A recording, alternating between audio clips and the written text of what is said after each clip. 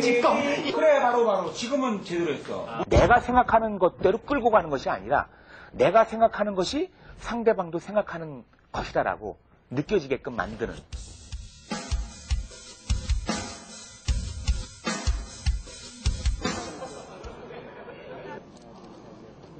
어떤 일을 하든 열정을 갖고 그 다음에 그거에 대한 모범을 보여줘야 되고 그 다음에 모범뿐만 아니라 미래에 대한 식견을 갖고 있어야 되고 그 다음에 미래에 대한 식견 속에 창의적인 발상이 예, 들어있어 있는 것이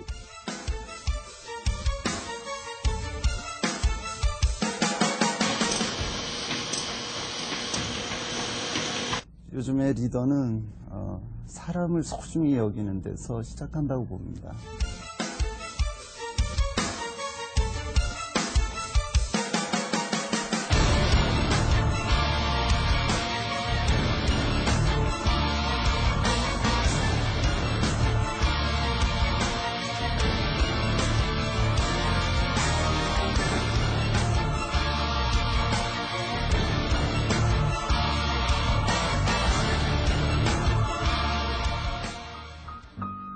십일 월 기획 시리즈로 준비한 이 시대의 진정한 리더.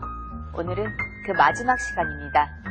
지난 3주 동안 세상이 인정한 수많은 리더를 통해 그들이 왜 성공하고 또 실패했는지, 그래서 우리가 원하는 진정한 리더는 어떤 모습인지 그 밑그림을 그려봤습니다. 하지만 그 속에서 리더란 무엇인가 그 원론적인 해답을 찾기란 쉽지 않았을 겁니다.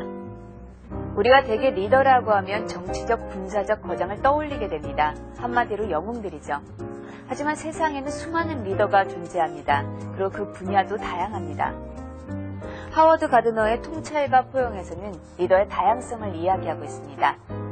오늘 이 시간 시대와 사람들을 변화시킨 리더들을 통해 본 미래가 원하는 리더십을 정리해 봅니다.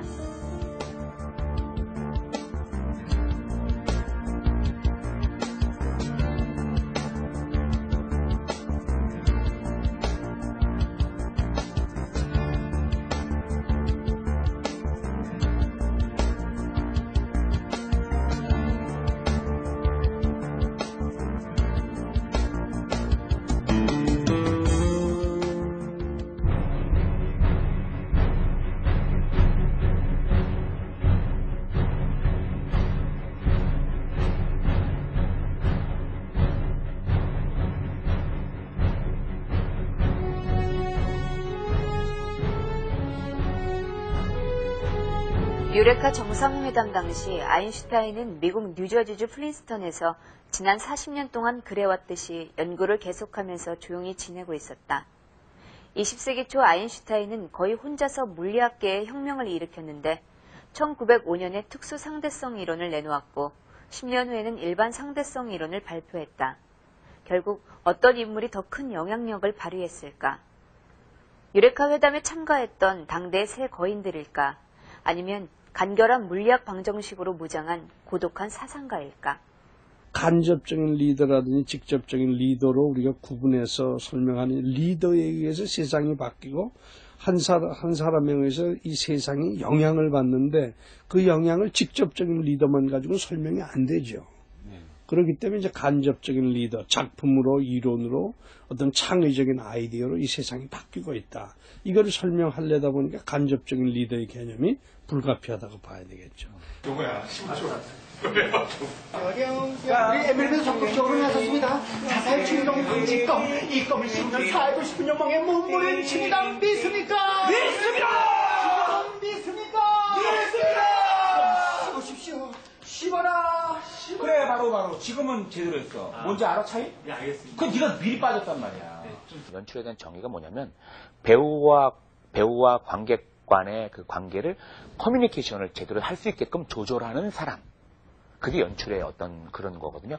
연출이 자기 색깔이 뭐가 정확히 있어서 그걸 무조건 따라와 따라와가 아니라 그러니까 관객과 배우의 소통을 원활하게끔 만드는 역할.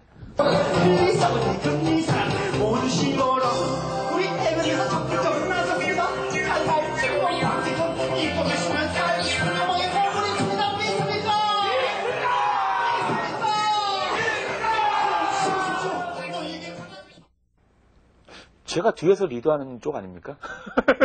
무대 위에서 어차피 그 주연 배우가 앞에서 리더를 하는 거고, 전 이제 뒤에서 리더를 하는 거죠. 뒤에서 리더하는 사람들이 잘 해줘야 그, 그게 더 진정한 리더십이 만들어지는 게 아닌가. 예, 그렇게 생각이 드네요. 앞에서 리더하는 것보단.